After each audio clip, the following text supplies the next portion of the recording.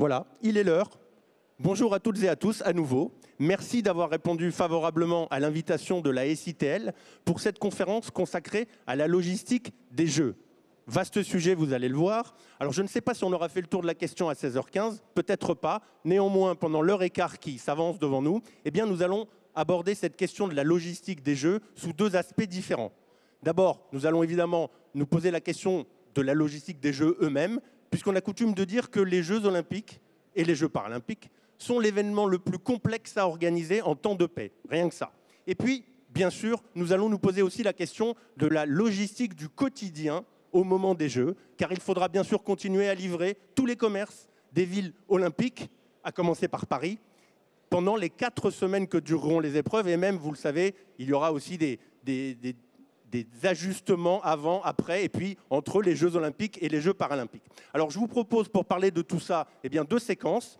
Euh, dans une heure, j'aurai un échange avec Olivier Stork. Alors il a eu un petit problème de transport, c'est pour ça que finalement il devait faire l'ouverture avec moi tout de suite. Bon, et on a été obligé donc de reporter à la fin de la séquence. Donc Olivier Stork qui viendra parler de la logistique des jeux eux-mêmes puisqu'il est le deputy CEO de Seva Logistique. Seva Logistique est une filiale de CMA CGM et c'est le logisticien qui a été retenu pour gérer justement la logistique des jeux. Et tout de suite, pour démarrer, eh bien, nous allons avoir une table ronde pendant trois quarts d'heure et on se gardera peut-être un peu de temps de questions pour vous.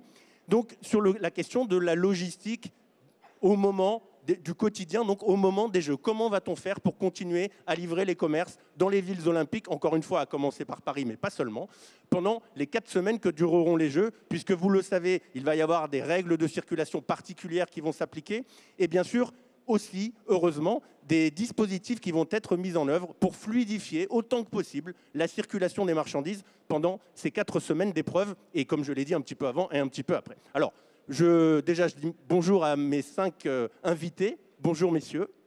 Je vais vous présenter et puis on va attaquer. Alors, je commence avec vous, Jérôme Douy. Bonjour, merci. Euh, vous êtes directeur délégué euh, développement durable et logistique urbaine chez TLF et coordinateur du club logistique en or. Et vous êtes très impliqué depuis de longs mois déjà sur cette logistique des Jeux olympiques et paralympiques. Pardon?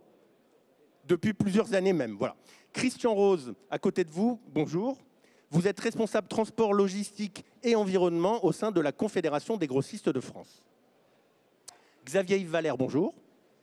Vous êtes euh, chef de mission fret et logistique au sein de la Direction générale des infrastructures, des transports et des mobilités, la DGITM.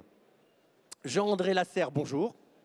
Merci aussi d'être avec nous. Vous êtes directeur du programme Interlude Plus chez Logistique Low Carbone et on va voir effectivement le lien qu'il y a un lien entre Interlude Plus et bien sûr la logistique des, JO et des JO euh, et des Jeux paralympiques. Et enfin, Pierre Rabadan, bonjour. Merci d'être avec nous également. Euh, vous êtes adjoint à la mairie de Paris en charge des sports, des Jeux olympiques et paralympiques et de la Seine. Alors vous nous direz si effectivement on va pouvoir faire les épreuves de triathlon dans la Seine, parce que tout le monde attend ça avec impatience. Alors, première question peut-être bah, d'ailleurs pour vous, euh, Monsieur Rabadan. Euh, les JOP de Paris, c'est un défi, puisque c'est quand même le défi d'organiser des JO en cœur de ville, avec, je crois, 11 sites olympiques dans Paris intramuros. Alors la question, évidemment, tout cela va avoir des conséquences sur la mobilité des hommes et des marchandises. Et évidemment, la question qui, s'impose, c'est de savoir comment la ville de Paris s'est préparée à, euh, cet événement et à ce défi logistique. Bonjour à toutes et à tous, merci euh, bah, de m'accueillir ici et merci à tous d'être là.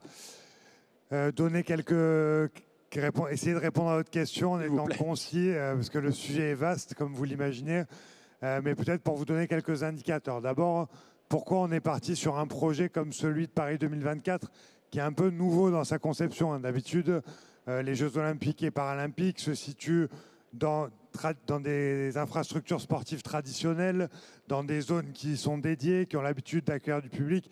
Là, on a un projet qui est plus mixte, on va dire, entre l'utilisation des infrastructures existantes et des infrastructures temporaires qui sont dans les cœurs de ville. D'abord, répondre à cette question, pourquoi euh, on a choisi ce concept-là? D'abord, pour moins construire. En tout cas, pour construire que ce qui n'était utile pour la population au-delà des jeux en héritage. Et non, et non pas répéter peut-être des erreurs qui ont été faites par le passé, où on surconstruisait à l'occasion de l'accueil du plus grand événement du monde, mais en même temps, on ne savait pas bien utiliser les équipements après. Donc ça, c'est la première réponse. La deuxième, elle, elle, concerne le concept même des cœurs de ville. Pourquoi on vient dans les cœurs de ville D'abord? Parce qu'il y, a un cadre exceptionnel qui est, qui Paris et les autres villes, qui est les autres parties prenantes. Et puis on s'est dit, au final, comment euh, faire de cet événement-là quelque chose qui soit le plus vivant possible et qui puisse aussi profiter du mieux possible à l'écosystème de, la ville.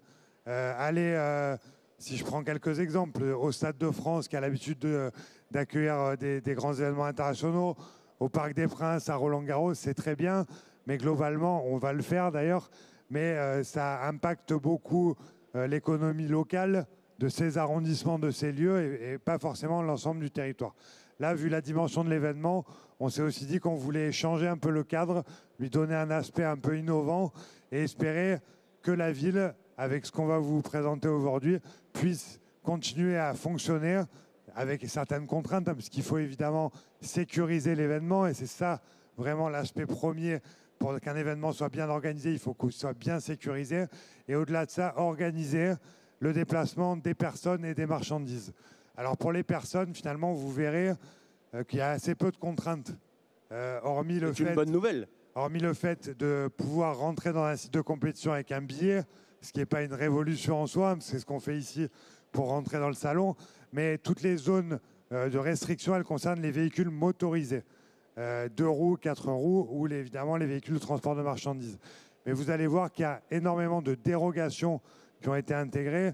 On en est à la 18e consultation euh, avec euh, les acteurs des professions, les riverains, pour être sûr de n'oublier le moins possible. Et puis, on a mis en place ce que mes collègues ici vont vous présenter avec les services de l'État qui coordonnent évidemment tout ça, euh, un certain nombre d'aménagements pour permettre justement que la vie continue pendant les Jeux, au regard de certaines contraintes, certes, parce qu'on ne peut pas faire comme si ça n'avait pas d'impact. Mais par contre, ça a été pensé organiser, anticiper pour que les acteurs puissent continuer à travailler et ceux qui font le choix, à mon sens pertinent, de continuer à, bénéficier du regain d'activité qui va y avoir pendant cette période, de pouvoir le faire dans des bonnes conditions. Donc voilà, profiter d'un regain de la vie économique aussi. Enfin, il va y avoir, je ne sais plus, alors les chiffres sur les touristes sont très... Euh, je les ai. il y a des grandes variables. Alors, quels sont les chiffres? On dit 10 millions? Non, alors euh, sur les Jeux la période Jeux Olympiques et Jeux Paralympiques, ce que vous avez dit tout à l'heure, c'est 4 euh, semaines, c'est un, petit peu moins que ça.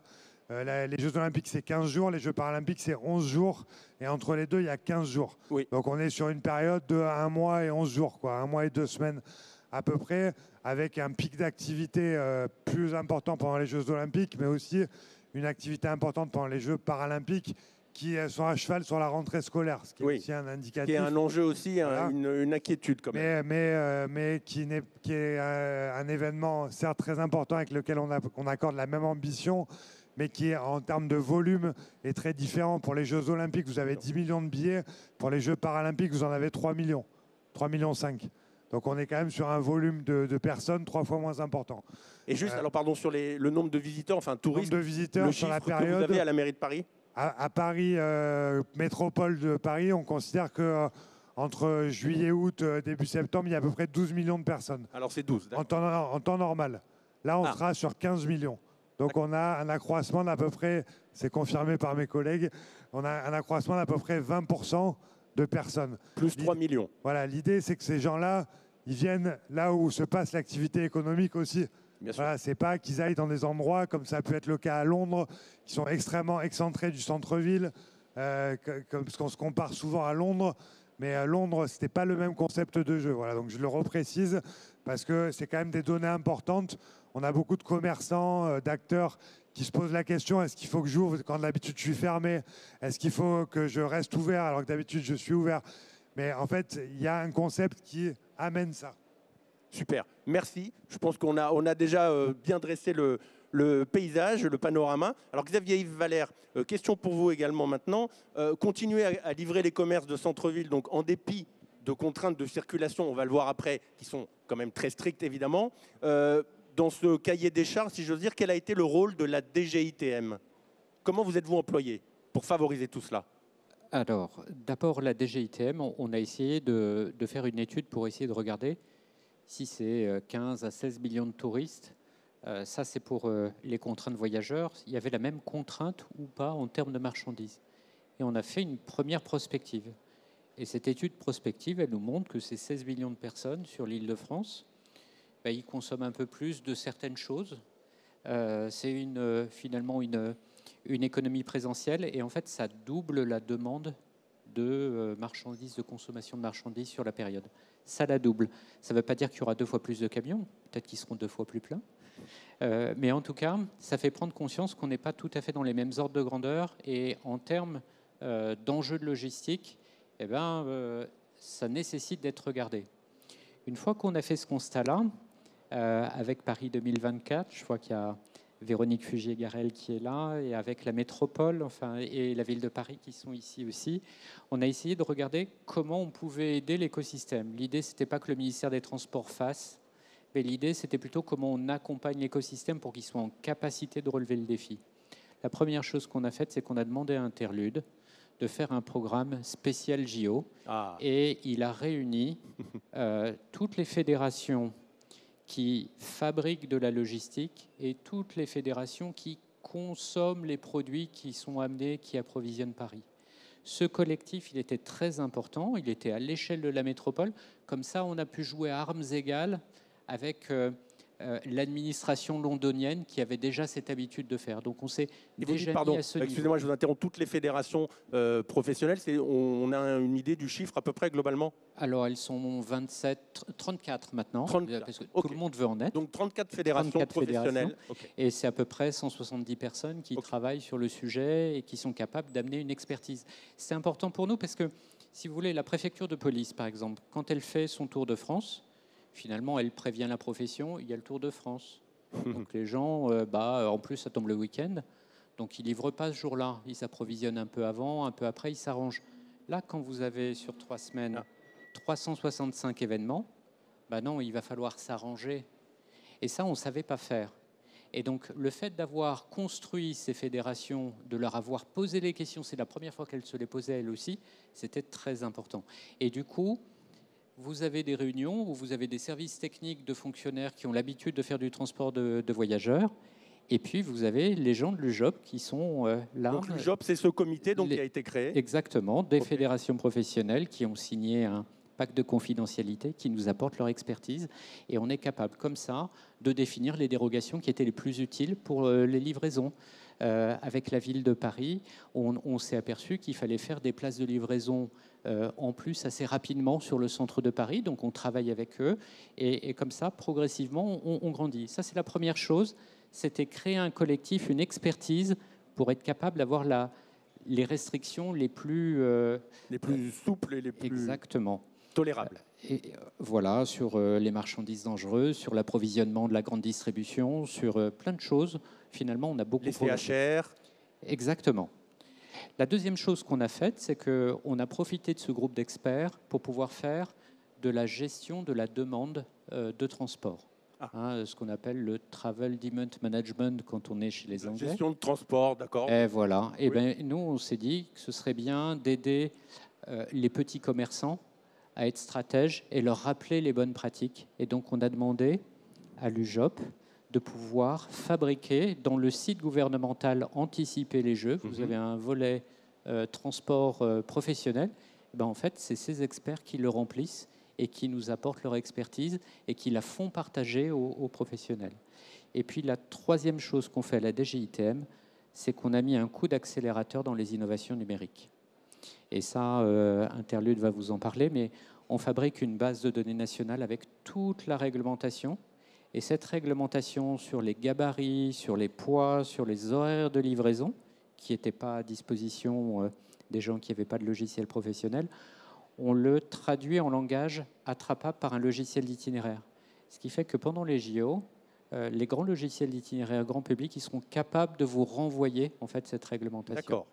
Et, voilà, je ne vais pas aller beaucoup plus loin parce que je ne voudrais pas déflorer. Les JO été l'occasion finalement de, de, faire, un, de faire un, pas supplémentaire, j'allais dire un step, un pas supplémentaire, pardon. Je vois Pierre Rabadan qui, qui, hoche de la tête. Oui, donc un pas supplémentaire et d'aller un peu plus loin finalement que simplement se contenter de faire une gestion aussi efficace que possible des JO. Exactement, parce qu'on avait tous envie de laisser en héritage des, petites choses. Et donc euh, le fait d'avoir créé ce groupe, l'UJOP, avec les professionnels, ça va rester parce qu'ils sont très investis et ils ont apporté beaucoup d'expertise euh, aux acteurs publics sur le territoire.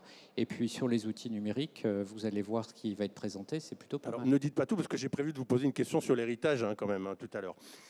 Alors Jean-André, euh, je le disais, donc euh, vous êtes euh, directeur du programme Interlude Plus au sein de Logistique Low Carbone. Alors cette, ce que Xavier Yves Valère vient d'expliquer, cette, cette ambition de co-construire finalement les règles de transport de marchandises euh, pour les centres-villes, c'est un principe, j'imagine, auquel vous avez adhéré euh, très vite, spontanément, puisque c'est la règle de- d'Interlude Plus. Alors, euh, comment vous êtes-vous engagé, vous, finalement, dans ce, ce comité LUJOP Le programme Interlude, c'est le déploiement de chartes logistiques urbaines durables dans les métropoles et communautés d'agglomération, avec un principe, Merci de bien parler dans le micro, pardon. avec un principe très simple pas de plan d'action digne de ce nom sans co- co-construction entre la collectivité, les acteurs publics et les représentants des entreprises. C'est exactement le même schéma que nous avons pour l'UJOP.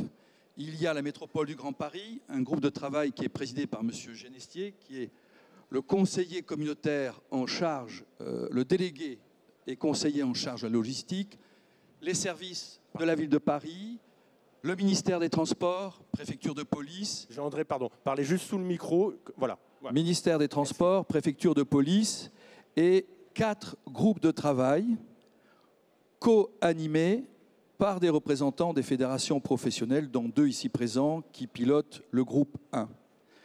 C'est dans le droit fil de l'héritage londonien. Lorsque l'évaluation a été faite auprès des professionnels à Londres, ils ont dit oui, il y a eu un impact, un renchérissement des coûts, un rallongement des délais, certes, mais on s'est quand même débrouillé, on a réussi à fonctionner, faire face au choc de la demande et au choc euh, des contraintes liées à la sûreté. Et ils ont mis en avant trois idées simples. Un, une information professionnelle précise. L'UJOP permet de fournir cette information professionnelle. Deux, entre pairs, il faut qu'il y ait des échanges entre les parties prenantes des différentes chaînes de logistique. Le fait qu'il y ait tous les représentants des secteurs d'activité, y compris le commerce de détail, y compris la grande distribution, y compris les artisans, bref, toutes les filières, eh bien, cela permet de remplir cette deuxième condition. Et la troisième, avoir des outils d'aide à la décision et d'accompagnement sur lequel je reviendrai.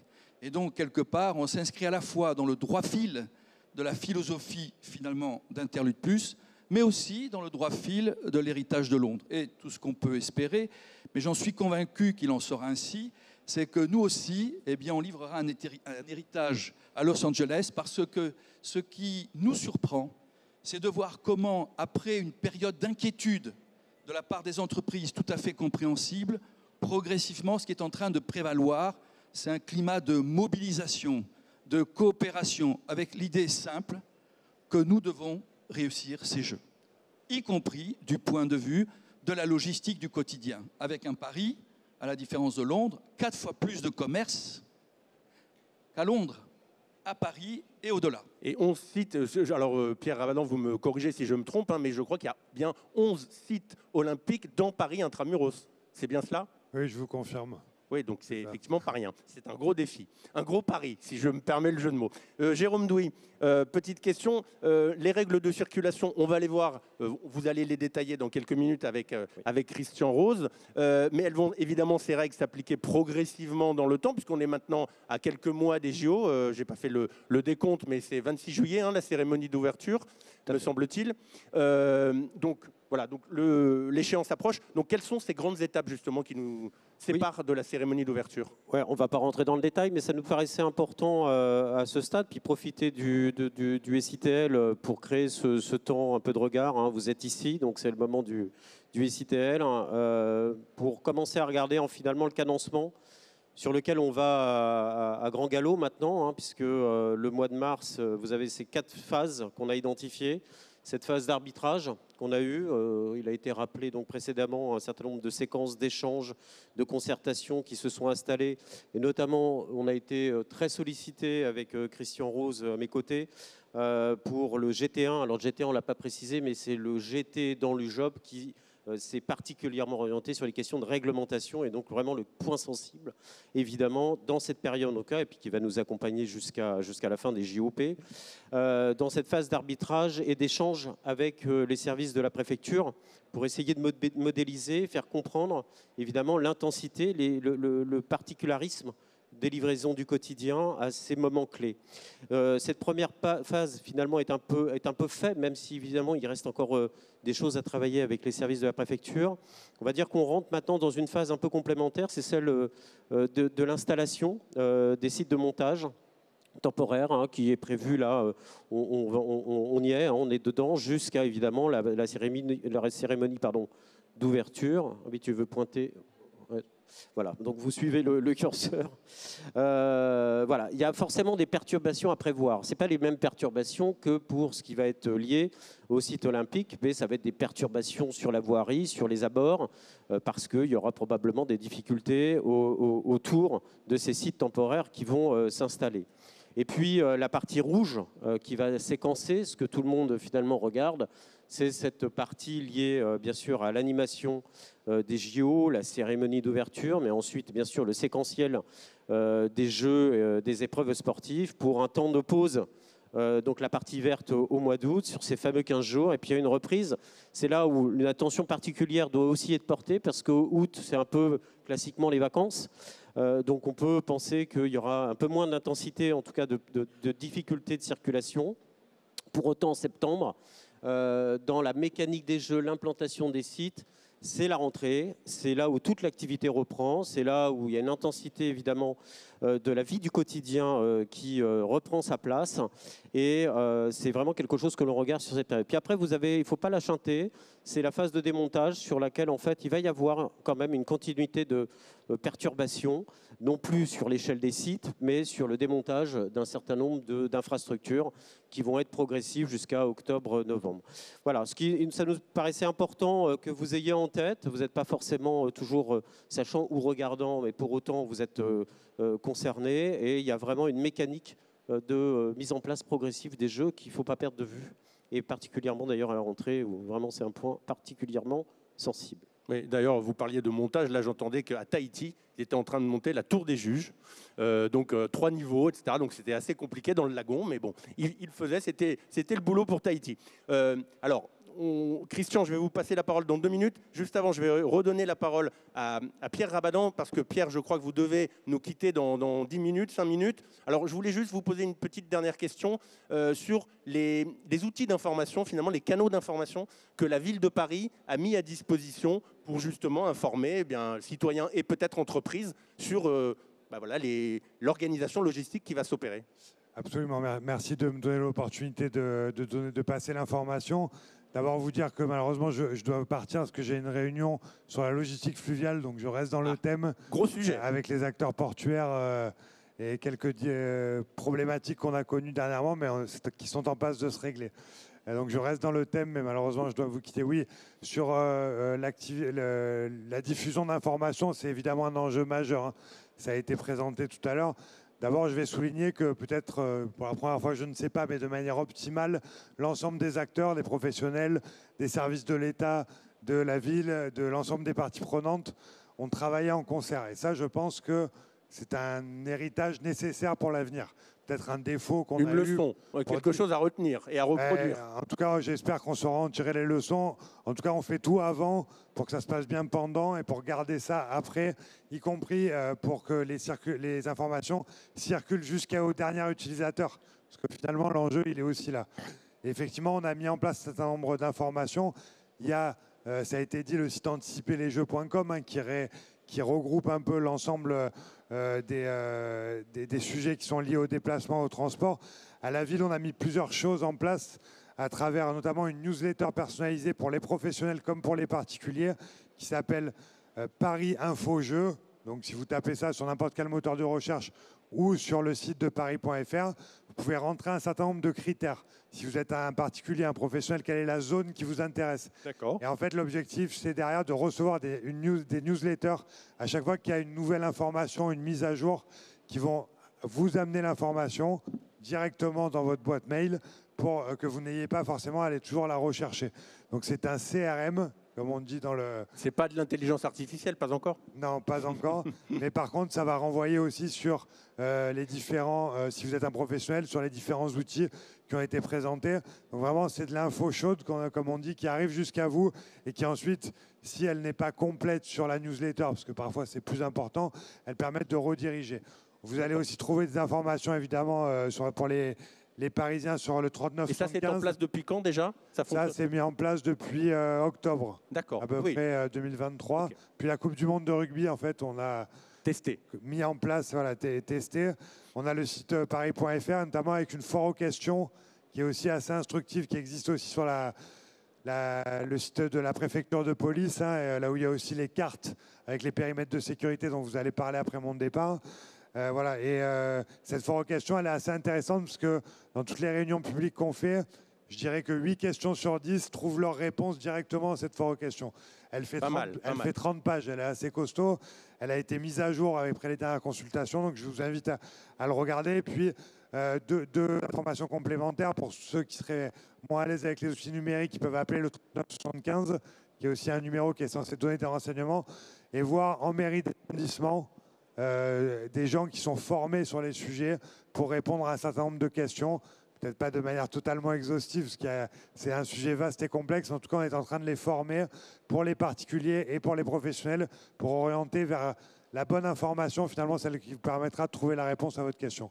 Voilà, tout ça, ce sont des outils complémentaires, mais je veux souligner vraiment la qualité du travail de ceux qui sont dans la salle et à côté de moi euh, sur ce sujet qui est un sujet complexe, hein, vous l'avez dit, qui nécessitait l'adhésion de tous. Et je crois que ça, on a réussi. J'espère que le, et je suis confiant sur le fait que le résultat sera à la hauteur et que ça laissera dans le quotidien du travail de chacun une meilleure, un meilleur outil pour, euh, pour performer sur la durée.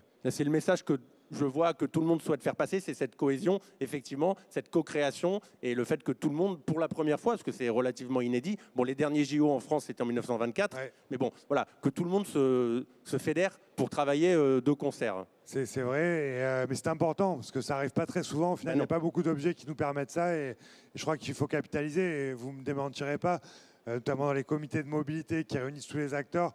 J'ai depuis la première heure été assez fan du euh, dispositif interlude et euh, tout ce qui était mis en place, que je trouve que c'est un outil indispensable sans doute pour les jeux, mais au-delà. Et donc j'espère que ça servira à ça et je suis très content qu'on arrive à collaborer ensemble et merci de la participation de tous. Merci beaucoup. Merci, on, voilà, ben, on vous libère. Merci d'avoir fait l'effort d'être avec nous quand même. Alors j'ai commis une petite erreur. J'ai dit que la dernière fois qu'il y avait eu des JO en France, c'était en 1924. Bien sûr, il y a eu les JO d'Albertville, Jeux, Jeux olympiques d'hiver, mais c'était quand même des JO en France. Merci beaucoup Pierre Rabadan. On peut l'applaudir. Alors, Christian Rose euh, et, Jérôme Douy, vous allez donc maintenant nous expliquer, parce qu'effectivement, entre voies réservées, on sait qu'il y a des voies réservées, on sait qu'il y aura des périmètres de sécurité. Tout ça, ça va entraîner de très fortes contraintes de, de circulation. Pardon. Est-ce que vous pouvez donc nous rappeler les règles qui vont s'appliquer concernant évidemment les, livraisons de marchandises en particulier. Bien volontiers, on va essayer avec Jérôme d'être le plus concret possible et de vous apporter le plus de, réponses à, vos questions que vous pouvez vous poser sur le plan opérationnel. Euh, avant, j'ajouterai peut-être effectivement un mot qui n'a pas été dit euh, dans le cadre de la collaboration, concertation qui a uni acteurs publics et acteurs privés. C'est bien évidemment tout ça, ça s'est fait en totale confiance. Euh, les uns envers les autres, aussi bien professionnels entre eux que professionnels et services de l'État et que nous n'avons jamais été, nous ne serons jamais dans une logique de négociation. Donc il n'y a pas de surenchère. Euh, il ne s'agit pas pour nous de, demander 100 pour avoir 50, ce n'est pas du tout la logique. C'est vraiment d'essayer de comprendre quels sont les, les enjeux auxquels se livre la puissance publique, face auxquels elle est confrontée, notamment en termes de sûreté-sécurité, et de nous d'apporter des réponses pour faire en sorte de trouver le bon équilibre, pour faire en sorte que la logistique puisse continuer à, je dirais, à, évoluer, tout en respectant bien sûr les, et en répondant aux enjeux de sécurité et de, et, de sûreté. Je tenais à le préciser parce que pour mhm. l'héritage, c'est important effectivement d'avoir cette notion de confiance à, l'esprit. Euh, c'est pas forcément toujours évident lorsqu'on est en discussion avec les pouvoirs publics, quels qu'ils soient, d'être dans cette logique de totale confiance et de travailler, je dirais, carte sur table et à livre ouvert complètement euh, au quotidien. Oui, il n'y a pas de compétition, ce que vous disiez. Il n'y a, pas de compétition et on, est là pour travailler et faire en sorte que ça réussisse. Alors donc, ces règles alors, euh, quelques mots sur la. Il y a deux types de restrictions qui vont être euh, instituées. Donc, les, voies réservées, les périmètres de sécurité, on va les développer les uns derrière les autres. voies réservées, elles vont concerner donc certains axes structurants du réseau routier en approche francilienne donc les principales autoroutes du nord, de l'ouest et, de l'est. C'est le boulevard périphérique. 180 km, non c'est 180 km hein, de, voies réservées. Alors des voies réservées, pourquoi faire? Euh, essentiellement, c'est un engagement que la France a, pris vis-à-vis du Comité international olympique, c'est de faire en sorte que les athlètes puissent, euh, je dirais, se, rendre depuis leur site, de, leur, zone d'hébergement jusqu'à leur site d'entraînement ou leur site de compétition en, moins de 25 ou en moins de, de 35 minutes. Et pour pouvoir assurer effectivement en toutes circonstances euh, répondre à cette exigence, bah, il fallait que, euh, bien évidemment, une voie leur soit réservée. Alors elle le sera aussi pour les services de secours, les services, je, dirais les, taxis, euh, les transports en commun, mais globalement... les journalistes aussi, je crois. la bah, déjà toute la presse liée effectivement aux Jeux Olympiques, ainsi que la, logistique hein, des JO. Olivier en, dira quelques mots tout à l'heure. Euh, donc l'objectif, c'est bien de faire en sorte que euh, quasiment depuis euh, du, 15 du, 15 juillet jusqu'à la fin des JO en, septembre, il y ait des voies réservées. Alors il y a quelques subtilités dans, lesquelles on ne va pas entrer parce qu'on n'a pas le temps. Hein, mais, l'idée, c'est bien qu'on condamne effectivement une voie qui sera réservée à la circulation de ces, de, ces véhicules dits accrédités ou prioritaires. Des voies express, quoi. Des, voies, réservées, comme il y en a aujourd'hui quand on arrive hein, par l'ouest, par le sud sur Paris, ben il, y a une, voie qui est réservée de temps en temps pour les véhicules propres ou les transports en commun ou les taxis, hein, c'est le même principe. Euh, alors quels sont les enjeux pour les entreprises? Euh, Jérôme l'a indiqué à l'instant, euh, autant au mois d'août, bon, il y a quand même beaucoup de franciliers de l'activité économique, même si elle va être un, peu, un peu renforcée par rapport au JO, il y a aussi, on est au mois d'août, donc il y a beaucoup de gens qui vont partir en vacances. donc les enjeux de, congestion ne vont pas forcément se faire beaucoup sentir au mois d'août. Euh, par contre, ils vont sûrement être très très importants à la rentrée de septembre, et notamment pendant les, Jeux, les Jeux, paralympiques, où là, bien évidemment, on, imagine tous, hein, ceux d'entre vous qui, qui, prenez, votre voiture tous les matins pour aller travailler, qui prenez le périphérique ou l'autoroute A1 ou l'autoroute A3 ou, l'autoroute A13, savent très bien que euh, si on supprime une voie sur les trois ou sur les quatre, ça va compliquer les choses. Euh, donc là, très clairement, pour les entreprises, c'est un enjeu d'anticipation. On sait très bien que condamner une voie, ça va allonger les temps de transport. Et ça va aussi bien pour les flux d'approvisionnement, pour les transporteurs qui viendront livrer les plateformes logistiques des logisticiens qui sont en Ile-de-France, euh, comme pour les acteurs qui opèrent en ville, hein, aussi bien les, messagers, les distributeurs, euh, les grossistes euh, qui vont livrer les commerces. Bien évidemment, il faudra qu'ils organisent leur tournée en anticipant autant que faire se peut, bien évidemment, ce rallongement, de, temps de, trajet, de temps de trajet auquel ils vont être confrontés, avec aussi un enjeu de surcoût Hein, puisque le temps reste de l'argent. Euh, et, ce surcoût, il faut bien évidemment l'intégrer aussi dans les relations qu'on peut avoir avec ses fournisseurs et, ses clients. Donc tout ça, il faut commencer Donc, à il va falloir un peu de compréhension de, de, partout. De partout, tout à fait. OK. Voilà, donc pour les voies réservées, pour les voies réservées voilà, alors elles, feront l'objet d'une signalisation. Bon, on a mis quelques exemples de signalétique à, l'écran. Euh, là aussi, euh, ce qu'on peut faire, c'est bien évidemment, bon, tout ça est dans le domaine public, hein, a fait l'objet d'arrêtés ministériels. ce qu'on doit surtout inviter à faire maintenant, c'est les entreprises à, à commencer à former leur personnel à, s'approprier, je dirais, cette signalétique. Bien sûr. Puisque euh, l'objectif, l'engagement pris par l'État, il est, il est très fort. Euh, et donc l'entreprise ou, l'automobiliste euh, qui, qui sera en infraction s'exposera à une amende de 135 euros. Donc ça nous a été rappelé récemment par le, préfet, par le préfet de police. Et ils entendent bien faire respecter cette règle par rapport aux engagements internationaux qui ont été pris par la France. D'accord, ok, super. Jérôme, donc il y aura des périmètres de sécurité aussi. Alors euh, il y a deux couleurs, hein. il y a des bleus et des rouges. Alors vous allez nous dire à quoi ils correspondent et effectivement, et bien sûr, quelles vont être les, contraintes et, les règles d'accès. Euh, voilà, comment est-ce que ça va se passer pour rentrer dans ces périmètres? Et pourquoi est-ce qu'il y a ces deux couleurs et ces deux types? Alors oui, vous avez à l'écran euh, un schéma vraiment ultra simplifié hein, pour pouvoir évidemment vous expliquer euh, le rythme.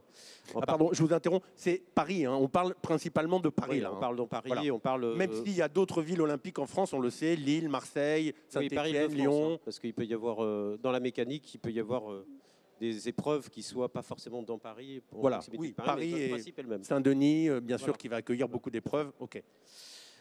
Euh, euh, très rapidement, euh, SILT, c'est le périmètre, on va dire, État, mais qui est très dans l'enceinte en fait des, épreuves hein, du site olympique.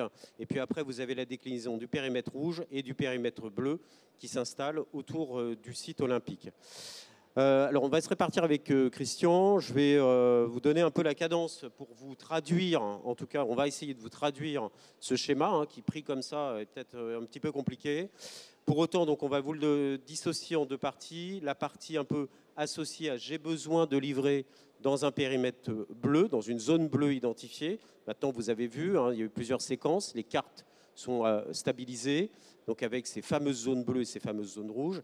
Et puis ensuite, Christian reviendra sur la partie rouge, de ce besoin d'aller livrer et circuler euh, sur euh, le périmètre rouge. Alors, sur la partie bleue... Euh, c'est peut-être évident pour tout le monde, mais il y a le site olympique. La zone rouge, c'est la plus, la plus ferrée autour du site, et la zone bleue est encore un petit peu plus large. Hein. donc on est dans un, système. voilà, par principe, donc le rouge, rouge que vous voyez, donc on va le symboliser par le site le orange, je ne sais pas après que la clé de lecture visuelle, mais en tout cas le orangé, euh, rouge orangé, euh, c'est le périmètre de sécurité. Et puis ensuite, le bleu, qu'on n'a pas métallisé en bleu, mais la ligne bleue intérieure, euh, est le périmètre finalement de déviation. Ce n'est pas un périmètre de sécurité, c'est plus un, périmètre de déviation. Donc, mais, pour entrer dans ce périmètre, malgré tout, il y a quand même un certain nombre d'obligations le principe de base, alors on va rentrer dans la mécanique, hein. le principe de base, c'est j'ai besoin de livrer dans un périmètre bleu, euh, j'ai un document qui justifie pourquoi je dois aller sur le périmètre bleu, et donc je vais... Un bon de livraison, par exemple Un bon de livraison, euh, il peut y avoir un mail, il peut y avoir en fait multiforme, et c'est aussi l'intérêt que l'on a d'accompagner les services de la préfecture, c'est aussi d'acculturer les services de contrôle en ce sens. Donc il y a évidemment beaucoup de documents qui peuvent être traduits, mais pour autant, avoir une preuve euh, euh, sera nécessaire. Le fait est, c'est que les entrées sont libres, c'est-à-dire la circulation est libre, l'entrée est libre. Pour autant, pour autant, ce n'est pas un périmètre de sécurité. C'est pour ça que c'est pas, il n'y aura pas des contrôles systématiques. Pour autant, il va y avoir des contrôles aléatoires. Ces contrôles aléatoires, je crois qu'il ne faut pas perdre de vue que bah, malgré tout, il faut quand même qu'il y ait une traduction réelle, effective euh, c'est un périmètre de déviation et si on n'a pas besoin d'y être, on n'a pas à y être. Donc il y aura probablement au démarrage, ou en tout cas pendant un temps que je ne peux pas déterminer, mais en tout cas un temps certainement très au démarrage et certainement ponctuellement pendant euh, les Jeux, des contrôles aléatoires assez réguliers. Surtout au début, effectivement. Pour euh, créer un peu, voilà, de la, aussi de la pédagogie en matière de vous ne pouvez pas rentrer, bien sûr, sur cette zone-là, même si c'est une zone qu'on considère de déviation. Le principe de base, c'est j'ai un document, une preuve de livraison, un besoin d'aller livrer, je rentre dans ce périmètre. Si je suis contrôlé, je montre euh, mon document aux forces de l'ordre présentes sur le terrain et qui donc apprécieront euh, euh, la possibilité pour vous d'entrer sur cette zone. La mécanique qu'on installe en parallèle, qui, parce qu'on essaye, nous aussi à notre échelle, de faciliter le quotidien des entreprises qui vont avoir besoin de rentrer sur cette zone-là, c'est peut-être d'automatiser un petit peu la gestion en fait de la demande de livraison, du besoin de livraison, par la traduction d'un QR code livraison. Ce QR code livraison, on commence à rentrer dans les outils. On, hein. commence à rentrer un peu dans les outils. Mais... Jean-André va, va, les expliquer juste après. Hein. Voilà, mais il, les détaillera. Moi, je donne les grands principes. Et ensuite, Jean-André, tu, donneras un peu plus de, de fond. Euh, pour autant, donc la mécanique, pour pouvoir faciliter euh, son entrée, ou en tout cas en cas de contrôle, c'est j'ai anticipé, je sais que je vais avoir des clients en sur cette zone-là, je vais me préinscrire sur un outil qui ne porte pas encore, mais qui est global, c'est j'optimise, mais il y aura peut-être un nom dédié, en tout cas une plateforme sur laquelle je vais enregistrer mes véhicules, de façon à pouvoir avoir bénéficié d'un QR code. Voilà, un QR mhm. code visuel qui pourra être euh, flashé par les forces de l'ordre au moment du contrôle. Voilà. Ce qui euh, permettra d'associer à ce flash code le bordereau de livraison, le mail, en tout cas le justificatif de livraison, de façon à présenter aux forces de l'ordre que le QR code. Pourquoi on fait ça? Parce qu'on on identifie quand même, malgré tout, dans les moments de contrôle aléatoire, peut-être un besoin de livraison qui pourrait occasionner, vous le voyez, on l'a traduit un peu comme ça, mais euh, à un moment donné, bah oui, il faut montrer son document, l'appréciation des forces de l'ordre, la compréhension du document. Qu'est-ce que c'est que ce document? Pourquoi vous êtes là? On ne comprend pas. Enfin voilà, ça peut créer à un moment donné un peu de congestion qui, malgré tout, euh, il faut comprendre les forces de l'ordre évidemment, mais euh, voilà, faciliteront pas forcément l'accès à la livraison si jamais on tombe sur ce contrôle. Le flash code, il a l'avantage, c'est qu'il traduit tout d'un seul coup par un simple coup de zapette. Il n'y a plus besoin de se poser de questions. Donc on, accélère, on fluidifie Voilà, un peu les contrôles. en tout cas. Petite euh, question, si on est dans la zone bleue alors qu'on n'a rien à y faire, tout à l'heure, euh, Ouais. euh, Chris- euh, Christian nous disait qu'effectivement, sur une voie réservée, c'était une amende de 135 euros. Là, quelle sera l'amende si on est dans une zone bleue et qu'on n'a rien à y faire? C'est pas défini. hein. Pour l'instant, c'est pas défini. Mais pas bon, ce sera, ce sera salé. Bon, bah, oui, Probablement, oui. compter. Xavier Valère nous dit que oui. Donc voilà, donc ne soyez pas dans la zone bleue si vous n'avez rien à y faire. C'est la morale de l'histoire. Voilà, donc euh, le principe, c'est évidemment faciliter. Évidemment, chaque entreprise est libre de choisir, soit il utilise et il y va avec son propre bordereau de livraison, ou soit il passe par cette plateforme qui lui facilitera certainement un peu la vie. Et je pense, il faut quand même pas se, se occulter, facilitera probablement la vie des conducteurs qui Oui. seront quand même dans un régime un petit peu compliqué dans cette période et facilitons-leur peut-être un peu la vie à ce titre-là et à ce moment-là. Euh, pour autant, c'est aussi un périmètre qui va permettre d'approcher les marchandises pour euh, les entreprises qui n'auront pas eu la possibilité de rentrer en zone rouge, pour pourquoi pas faire évidemment une sorte de transbordement vers soit du pied De l'éclatement à partir de la zone bleue. d'éclatement sur des zones de livraison qui vous sont un peu précisées, hein, c'est très schématique, mais de façon à soit faire de la livraison pédestre, donc on rentre dans la zone rouge, euh, alors en espérant que ce soit pas trop loin dans la zone Avec rouge, un transpalette. on peut rentrer avec un transpalette, ou alors en cyclo, c'est-à-dire une zone de débord, de- débord- non. Euh, enfin en tout cas de changement de mode pour pouvoir rentrer avec euh, la cyclo. La cyclo et le mode piéton n'aura pas d'obligation de présenter des informations particulières ou QR code. D'accord. Voilà. Il y aura une libre entrée, en tout cas pour ces modes-là. Merci. Les zones rouges alors. Donc là, c'est un petit tour de vis supplémentaire. Donc zone rouge, on est encore plus près, plus, au- plus serré autour du site, logi- du site euh, Oui. olympique. Pardon. Oui, alors pour- les zones rouges, euh, là on est sur des enjeux de, de sécurité et de sûreté. Autant comme indiqué Jérôme, pour les zones bleues, c'était des enjeux de circulation. Euh, pour les, les enjeux, effectivement, pour les zones rouges, ce sont des enjeux de sécurité et de sûreté. Donc c'est là que les contraintes de circulation seront les plus fortes. Et, et- et le principe qui, qui a été donné et qui a été acté et qui sera respecté, c'est euh, l'interdiction de circulation euh, de tout véhicule motorisé dans les périmètres rouges pendant leur activation. Alors, ce qu'on n'a pas précisé, effectivement, c'est que les périmètres rouges ne seront pas activés, 24, euh, bleus d'ailleurs ou rouges, ne seront pas activés 24 heures sur 24, mais ils seront activés en fonction de la durée des épreuves et du début et de la fin des épreuves, Bien sûr. puisque l'objectif recherché par la puissance publique, c'est d'éviter de faire se croiser des spectateurs qui vont arriver par milliers sur un site olympique ou en sortir et des véhicules motorisés. Bon, c'est éviter l'accident de circulation, avec accessoirement, bien sûr, des enjeux de sûreté Terroriste. terroristes, ouais. hein, qu'on comprend tous, bien évidemment, dans- par, les, par les temps qui courent.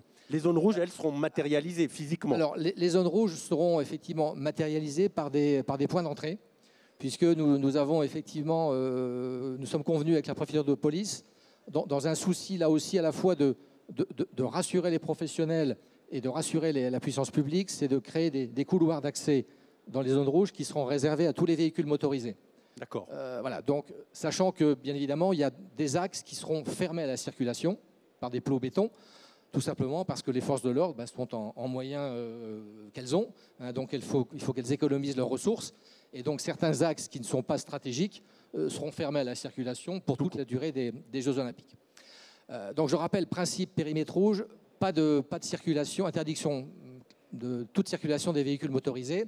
Ce qui faisait dire à l'instant à Jérôme, effectivement, que euh, l'invitation qui est faite aux entreprises, c'est de pouvoir se mettre en rupture de charge en périmètre bleu et, et finir le dernier kilomètre ou les derniers Le mètres dernier mètre là. En, vélo, mètres. en vélo ou, euh, ou- ou à pied avec- en, en transpalette. Alors tout à l'heure, euh, l'adjoint au maire a, a indiqué qu'il y avait des, des dérogations. Ah oui, alors oui, c'est vrai qu'on entend parler de dérogation. Alors, être, euh, euh, nous très clairement, on est très très prudent sur l'usage de ces dérogations. Euh, certes, bien évidemment, il n'est pas question d'interdire la, vie économique euh, dans les périmètres, rouges. Euh, il y a néanmoins d'autres façons de s'organiser. Et il faut savoir qu'il y a toute une liste hein, qui existe de, cas, hein, ça a été rappelé tout à l'heure, de cas dits d'usage qui permettent effectivement à des véhicules d'entrer dans les périmètres rouges pendant leur phase d'a- d'activation à l'intérieur de créneaux horaires qui seront ouverts spécialement à cet effet. Mais il faut savoir que dans ces périmètres rouges, la circulation il sera excessivement compliquée. Oui. Euh, J'indiquais à l'instant qu'il y a des axes qui seront fermés à la circulation. Donc les véhicules qui n'emprunteront pas ces axes habituellement se reporteront sur des axes voisins. Les places de stationnement vont être trustées par les forces de l'ordre, par les services du COJO, par les médias. par les riverains qui ne pourront peut-être plus accéder pour se garer devant chez eux, qui iront se garer ailleurs. Oui. Donc très clairement, le, le conseil qui est donné, c'est d'utiliser avec euh, parcimonie et de façon maîtrisée les ne pas dérogations. se reposer sur les dérogations. Ne surtout pas se reposer sur les dérogations pour espérer se dire, hop, je fais comme aujourd'hui, je ne change rien à mes habitudes. Parce que là, très clairement, l'entreprise le fera une fois, elle ne le fera pas deux. Euh, parce que ça ne marchera pas. Et le, le préfet était très clair lors de sa conférence de presse il y, a, il y a une quinzaine de jours. Pour lui, il fera respecter le principe qui est celui de j'interdis la circulation et je ne l'autorise que de façon exceptionnelle.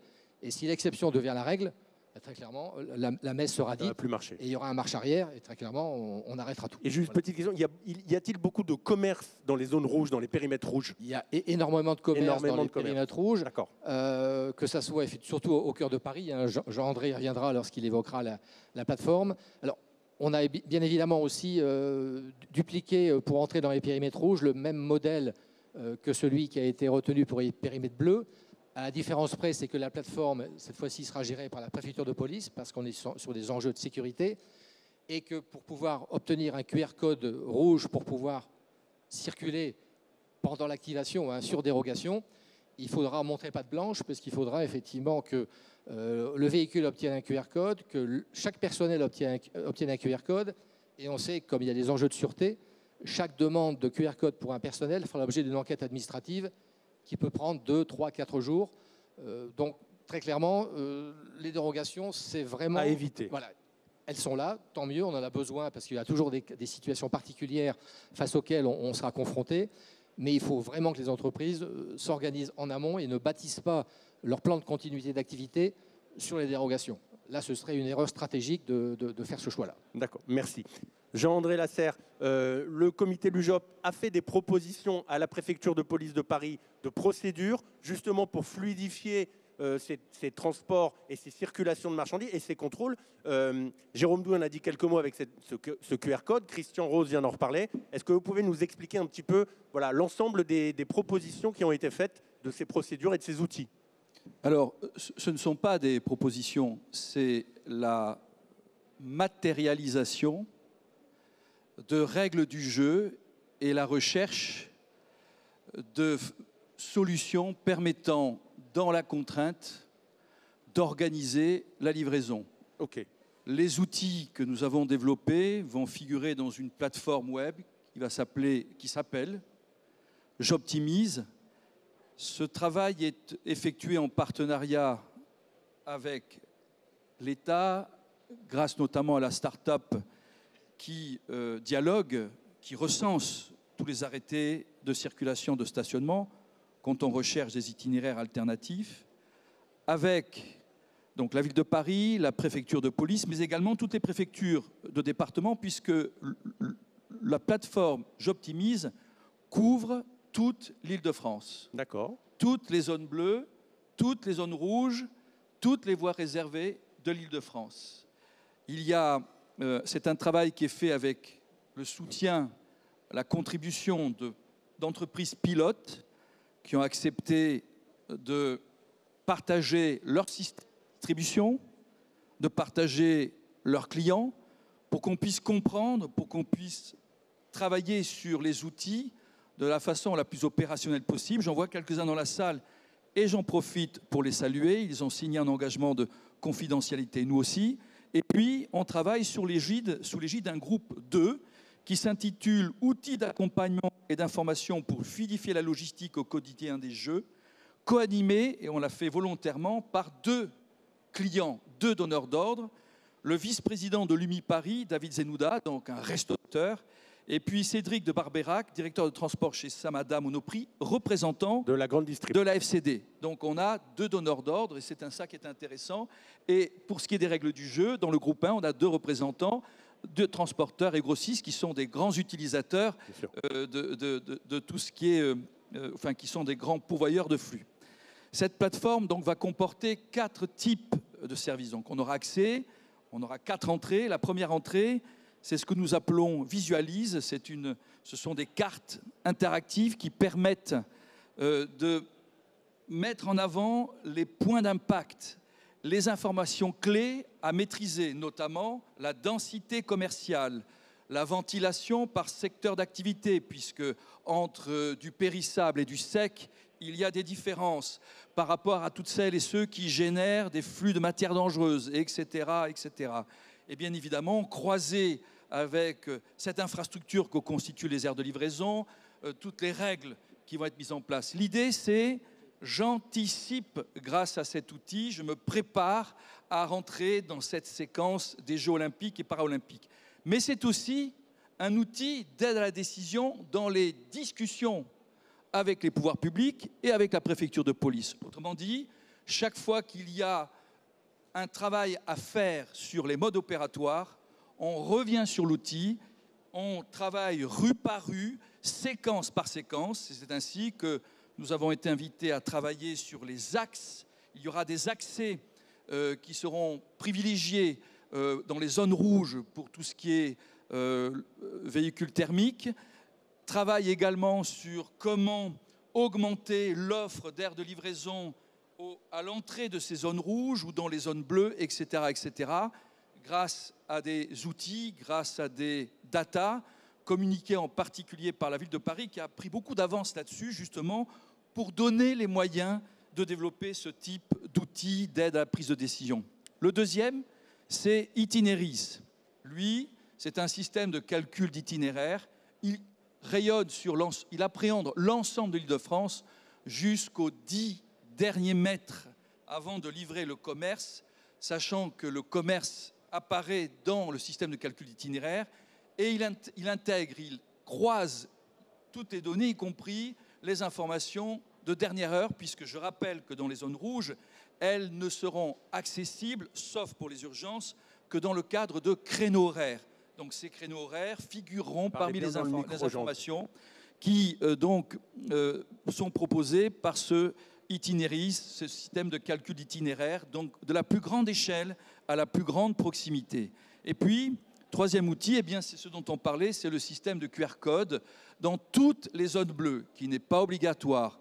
Information froide, on renseigne une bonne fois pour toutes trois types d'informations, le CABIS, carte d'identité d'un dirigeant, plaque d'immatriculation. Puis ensuite, lorsqu'on livre dans une zone, c'est un seul document qui prouve, qu'il soit en version électronique ou physique, qui prouve qu'il y aura bien livraison dans la zone bleue. Avec un avantage, c'est que derrière, ça génère un QR code. La police aura une interface qui permettra directement de vérifier si l'entreprise est bien habilitée à livrer dans cette zone-là. Et si elle a des doutes, elle pourra avoir accès à la base de données et vérifier si l'adresse qui figure, par exemple, dans le banc de livraison, eh bien, correspond à un commerçant ou peu importe, un opérateur économique qui se trouve Donc on dans la zone bleue. à se préenregistrer quand on est une entreprise pour gagner, pour, gagner du temps au moment gagner des du contrôles. Temps. Nous vous invitons à rentrer dans cette logique parce que vous avez bien compris que c'est pour fluidifier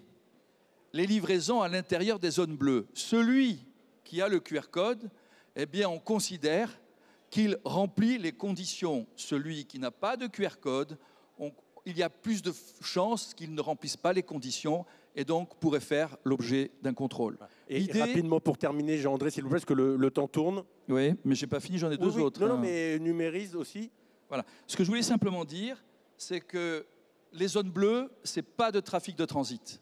Si le trafic de transit s'embarque dans les zones bleues, ça sera le chaos. Et ces outils permettent aussi de visualiser les zones bleues, parce qu'il n'y aura pas euh, de signalétique pour dire vous rentrez dans une zone bleue, à la différence des zones rouges, puisque dans les zones rouges, il y aura des accès réservés pour ce qui est des livraisons, donc des accès réservés, donc ce sera beaucoup plus simple. Pas dans les zones bleues. Donc ces contrôles aléatoires, si on n'est pas en capacité de visualiser euh, quand est-ce qu'on est dans la zone bleue, c'est là où les difficultés peuvent commencer. Et puis, troisième outil que nous appelons euh, Numérise, à, côté du système de QR code, c'est un disque numérique obligatoire uniquement dans les zones où il y aura ce qu'on appelle, les zones critiques. Il y a a priori deux à trois zones critiques.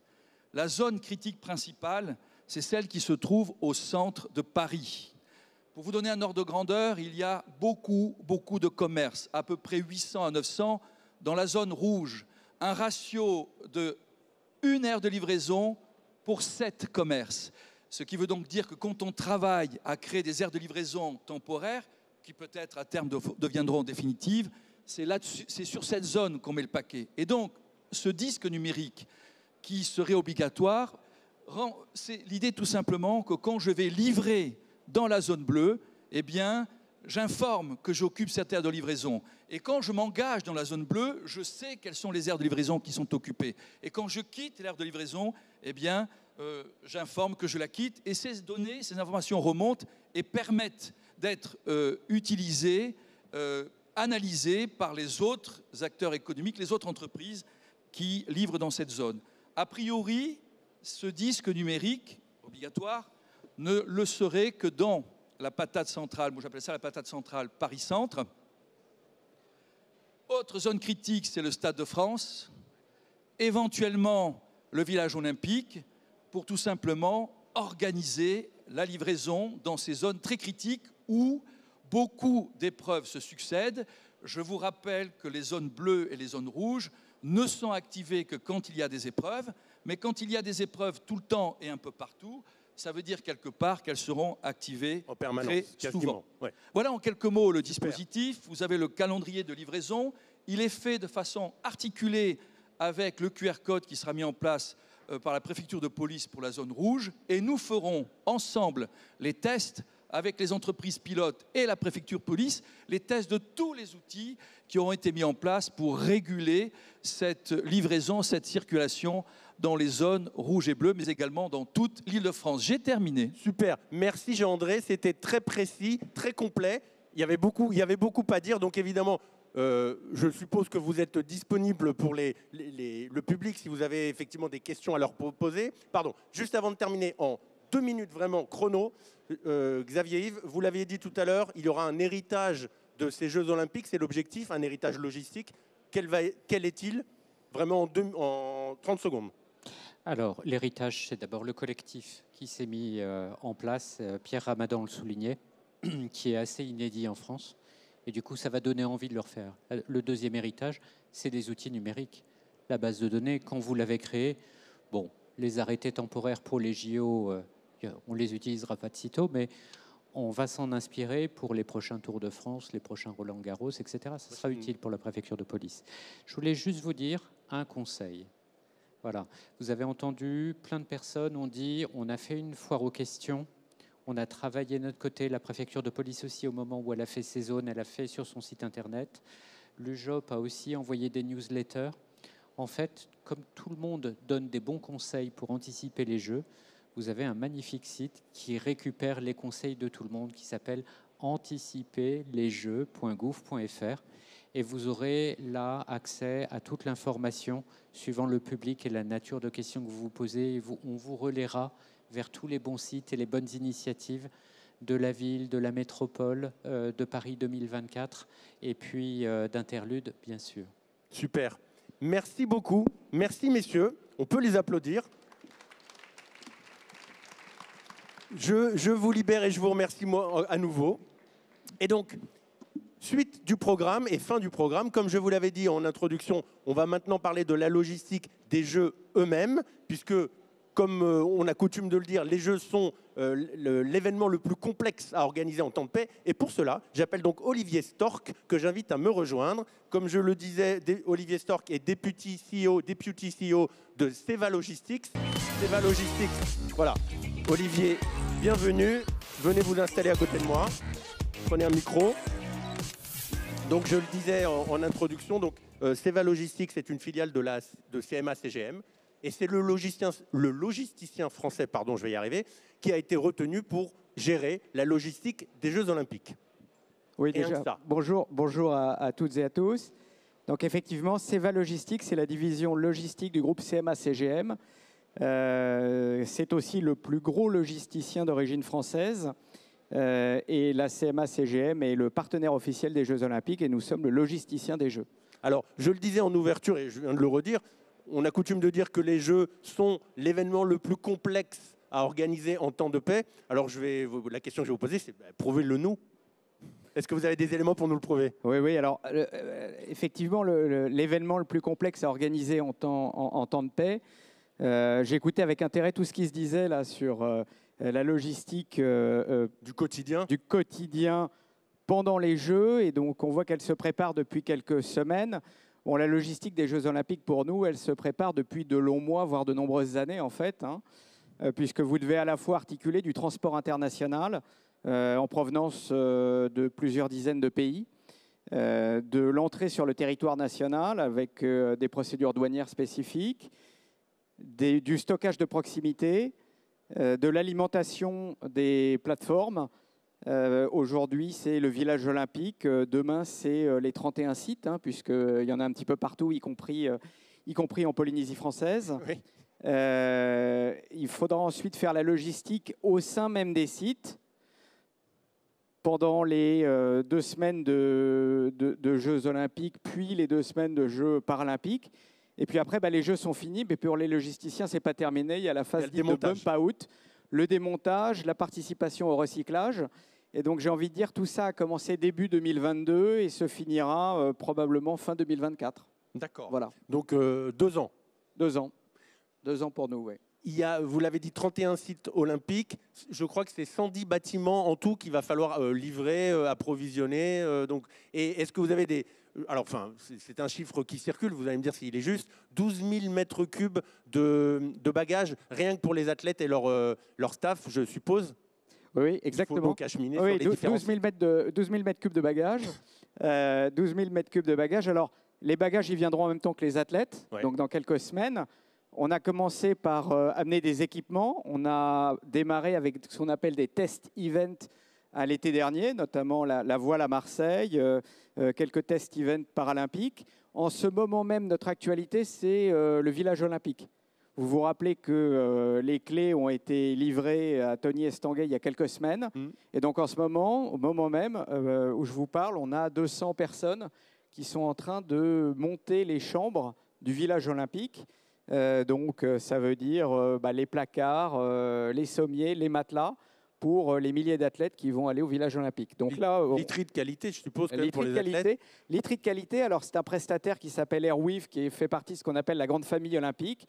Et donc nous nous fournissons à la fois notre premier client, qui est le comité euh, d'organisation des JOP, la famille olympique, c'est-à-dire tout, tout l'univers qui gravite autour des, des Jeux olympiques soit euh, des prestataires privés, soit des fédérations internationales. On a euh, Airweave, par exemple, euh, Toyota, OBS. On est aussi en train, en ce moment, de commencer à alimenter l'entrepôt qui va gérer tous les équipements de, diffusion télé pour les médias. OBS, qui est du côté, du Bourget. Donc on est dans cette phase de, montée en charge. Nos entrepôts se remplissent à grande vitesse. et après, on va rentrer dans la partie qui était, euh, qui était l'objet de la, table ronde précédente, c'est-à-dire l'alimentation des sites. Et puis pour nous, alors nous, on est en pleine zone rouge, c'est-à-dire qu'on a la problématique des zones bleues, mais aussi des zones rouges, mais également de la logistique interne au site pendant, pendant les épreuves. Et la diversité des produits que vous devez acheminer, alors vous, là vous avez parlé de, de, problèmes de matériel de médias, vous avez parlé de literie, voilà, donc il y a de l'alimentation, je suppose évidemment en quantité euh, astronomique. Euh, et puis plein d'autres choses, peut-être des produits plus auxquels on ne pense pas. Euh, oui, alors sans, rentrer dans tous les détails, mais donnez-nous quelques, non, il y a plusieurs exemples. dizaines de milliers de références. Alors c'est extrêmement large, hein, puisque ça va des cartouches, puisqu'il y a beaucoup d'épreuves de tir. Oui, à euh, euh, oui, alors aux équipements sportifs. Euh, voire, alors là, on fait appel à des prestataires spécialisés avec lesquels nous travaillons, des animaux vivants. Ah hein, pour les épreuves d'équitation qui auront lieu notamment au château de Versailles. Donc on a effectivement, ça fait partie de la complexité, une diversité de, de, de, de référence euh, en termes de poids, en termes de dangerosité, en, termes euh, de fragilité qui est, euh, qui est très diverse.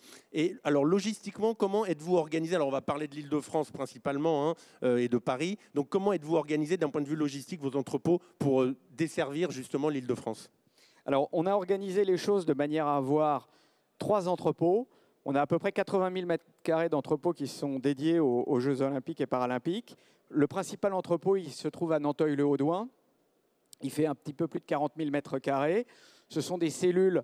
Euh, on, a, pris ce bâtiment à la faveur des, JOP. C'était important pour nous qu'on ait le plus haut niveau de certification euh, écologique. C'est un bâtiment d'Ibréam euh, qui a ouvert il y a quelques mois, qu'on a rempli. Et on a autour de cet entrepôt principal deux entrepôts annexes. On en a un qui est dans le 93 de, de 25 000 m2. Et puis, à mesure qu'on va s'approcher de la cérémonie d'ouverture, on va alimenter un entrepôt en très forte proximité de Paris Intramuros, qui sera porte de Versailles, et qui va nous permettre d'alimenter les sites d'e-centre euh, de Paris, euh, à la fois pour, les, pour la phase olympique et pour la phase euh, paralympique. D'accord, donc trois niveaux en se rapprochant de Paris, puisque déjà l'entrepôt de Saint-Denis, enfin de Seine-Saint-Denis, est un peu plus près. Voilà, donc, voilà, donc à, la fois on spécifie, bah, on spécifie selon le, cahier des charges du, du COJOP, c'est-à-dire qu'on spécifie les stockages de manière à optimiser les distances, la sécurité, les émissions de CO2, notre capacité à consolider.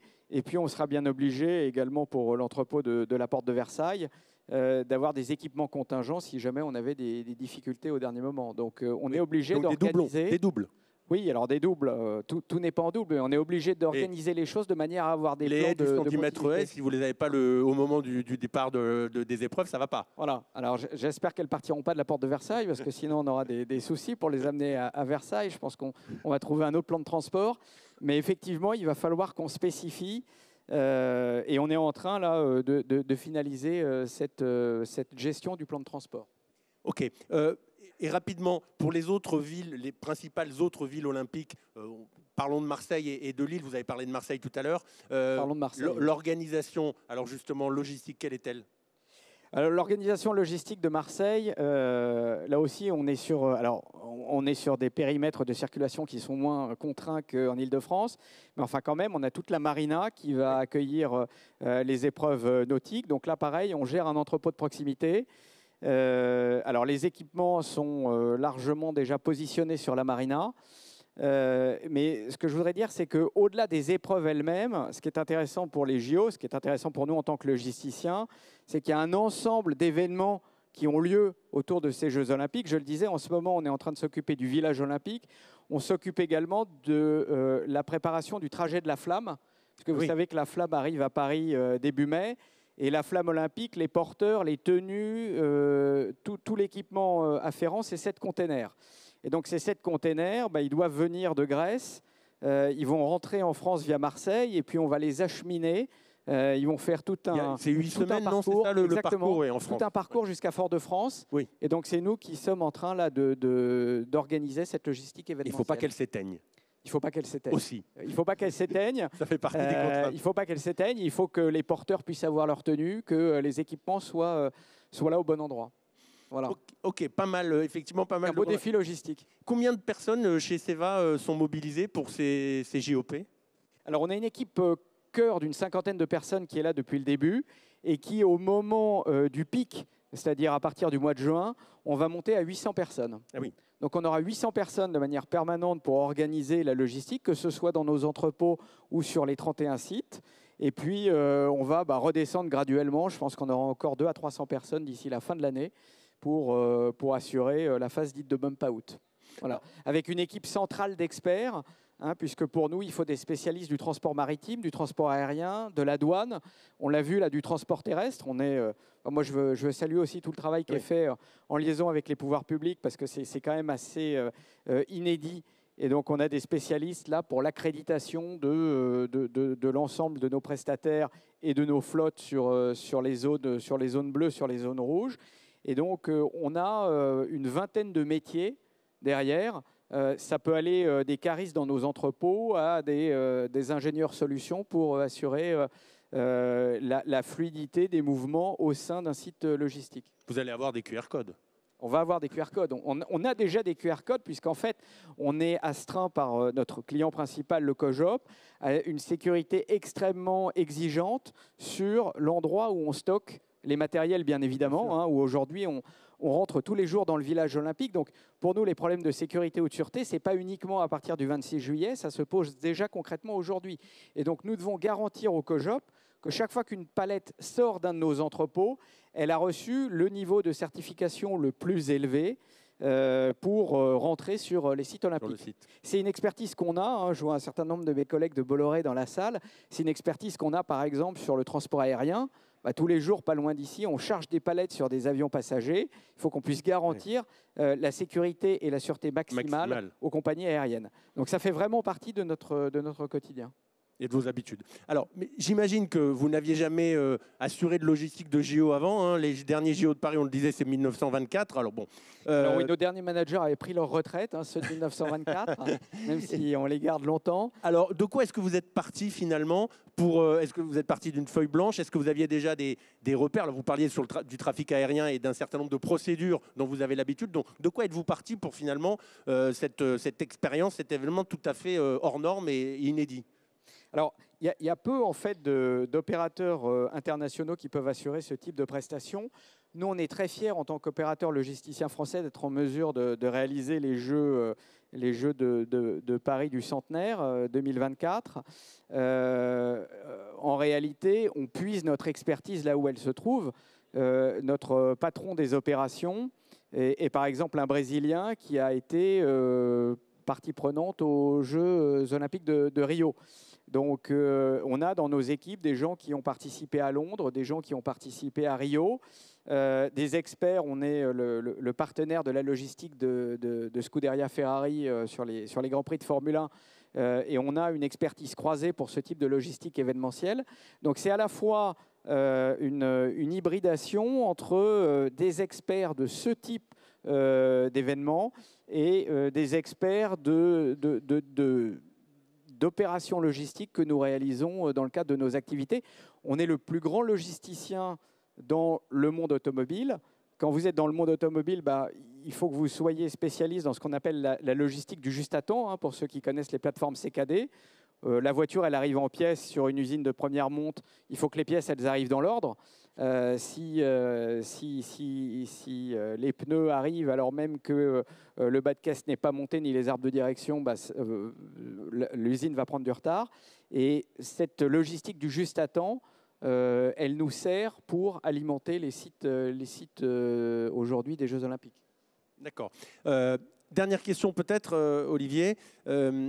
Pierre Rabadan le disait tout à l'heure, on l'a entendu beaucoup, les Jeux de Paris se veulent des Jeux modèles exemplaires en matière de développement durable. Donc j'imagine que vous, pour la logistique, vous êtes concerné aussi, ça va de soi. Donc justement, quelles sont les, contraintes, vous, et quels sont les engagements euh, développement durable que vous prenez au sein de SEVA? Alors l'engagement développement durable, c'est euh, d'abord on essaie de le, matérialiser euh, sur les différents pans de la chaîne. Donc on essaie de privilégier le transport maritime sur du transport aérien. On va essayer de, privilégier euh, des bâtiments neutres en énergie pour notre stockage. On va essayer de massifier au maximum sur le plan de transport. Hein. On a 11 000 expéditions entre les trois sites de l'île de France euh, où nous assurons la logistique et les, sites, des, les sites des, des, Jeux, les sites olympiques. Euh, ces, 11 000, ces 11 000 expéditions, on va essayer autant que faire se peut de les réaliser avec euh, le maximum d'agrégation et avec des motorisations vertes. Donc, on a proposé des schémas au COJOP où on a à peu près les deux tiers de la flotte aujourd'hui en motorisation euh, à faible émission. Ça ne veut pas dire zéro émission, ça peut être du biofuel. Il y a un tiers, on est plutôt sur du, euh, sur du véhicule léger électrique. Pour le reste, on va utiliser euh, du biofuel. On a même des véhicules test hydrogène, on a des camions électriques. On est en train de discuter avec le COJOP pour utiliser la barge. Pour, Pierre Madan disait justement bah qu'il avait rendez-vous sur la logistique fluviale. Nous, on estime qu'il y a une dizaine de sites qui sont à moins euh, de 1,5 km et demi euh, du fleuve, et donc voir comment on peut assurer des reprises de charge avec, avec de la barge, euh, des vélos cargo. de, la, de la logistique éclatée en vélo cargo sur les sites eux-mêmes. À l'intérieur des sites À l'intérieur des sites. Parce qu'il y a des sites assez étendus, effectivement. Exactement.